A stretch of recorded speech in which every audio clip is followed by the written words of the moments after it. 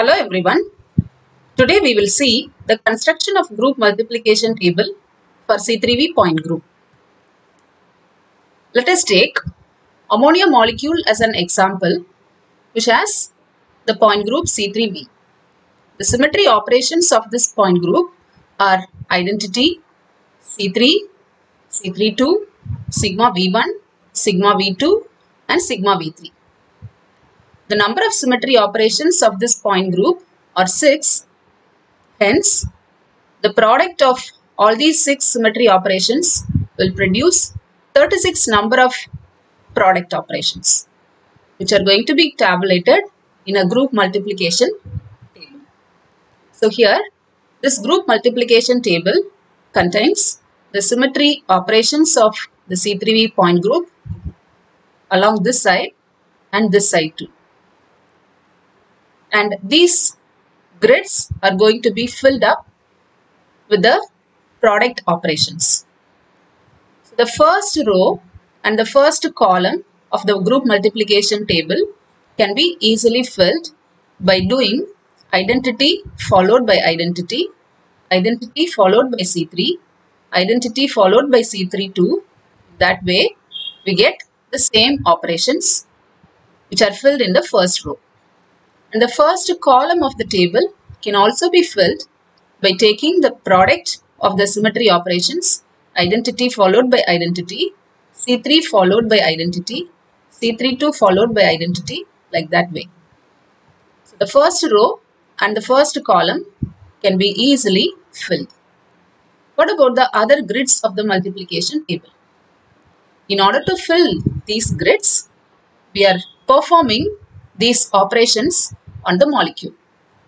The ammonia molecule has pyramidal shape.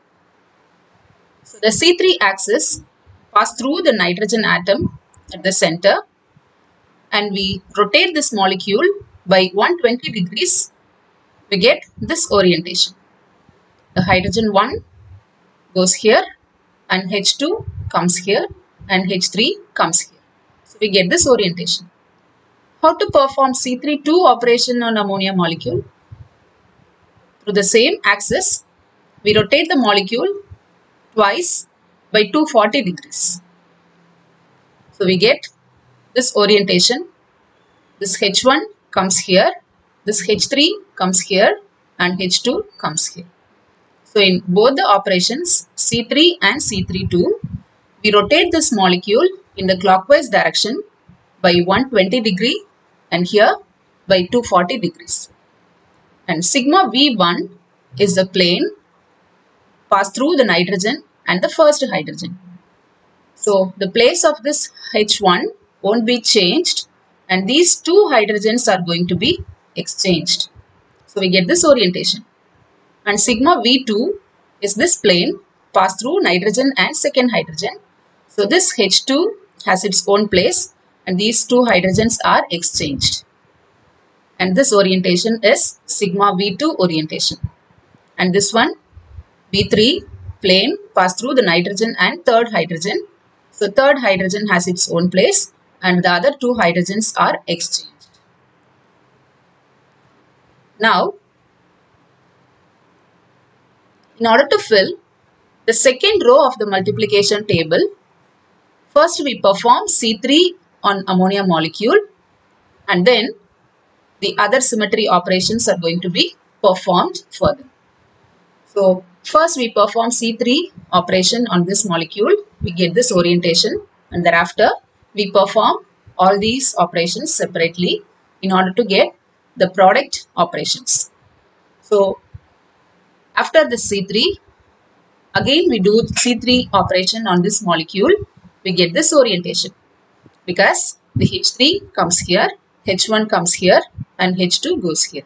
So we get this orientation and this orientation resembles with C3, C32 operation. Hence, we fill the C32 here. C3 followed by C3 produces C32 as the product. And again, C3 followed by C32 gives identity because this H3 comes here, H2 comes here and H1 comes here. So this orientation resembles with the original.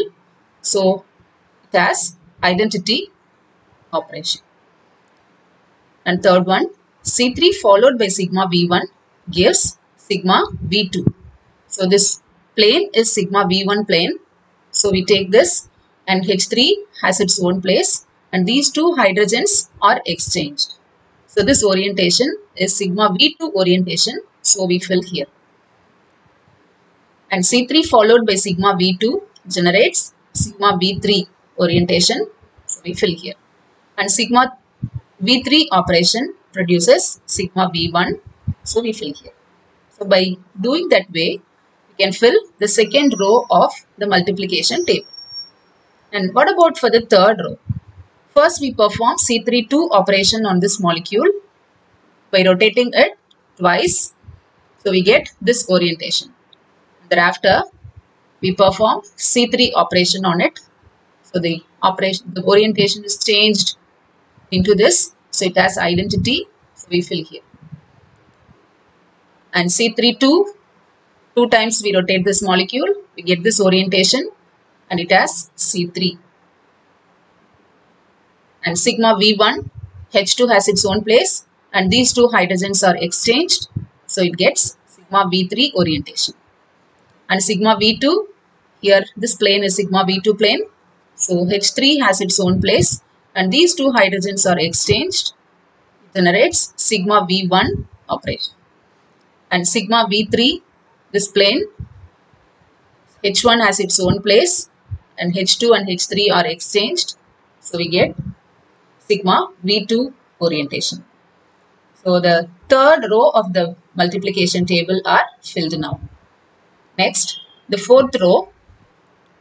First we perform sigma V1 operation on this molecule. So we get this orientation. H1 has its own place. These two hydrogens are exchanged. So this orientation is sigma V1 orientation.